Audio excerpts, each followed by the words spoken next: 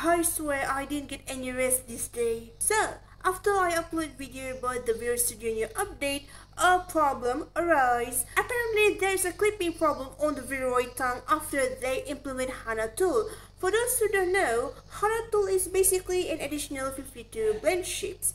Vroid Studio already have 5 default blend shapes on Vroid model, but you can add another 52 blend shapes if you want your 3D model to be more expressive. Suitable if you use an iPhone camera that have ARKit. As of right now, Vroid Studio developer haven't updated anything yet regarding this issue. Also, the HANA developer already working on their Unity add-on to fix this clipping problem. Meanwhile, there's an easy temporary solution to fix this problem. You just need to raise the undertone textures.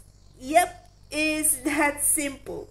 There's not a solution though, but this one, you need more Unity Blender knowledge. Unfortunately, Ringo tool are not working in this case. I didn't know about the Unity work but not the Blender.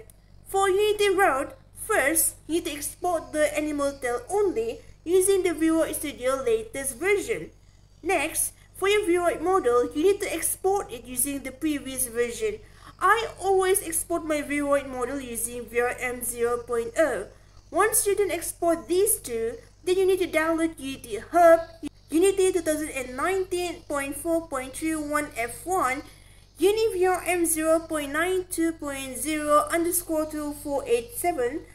I think there's already a lot of tutorial of how to download Unity and how to experience Moscato on YouTube that you can find easily. And now you don't even need bone weight transfer since Animal Tails bone parent already fixed on the Vroid model hips.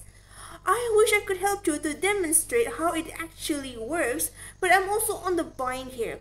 I'm actually away from my laptop right now and I currently recording this video on my phone. So for those who knows what I'm talking about in this video, please send help.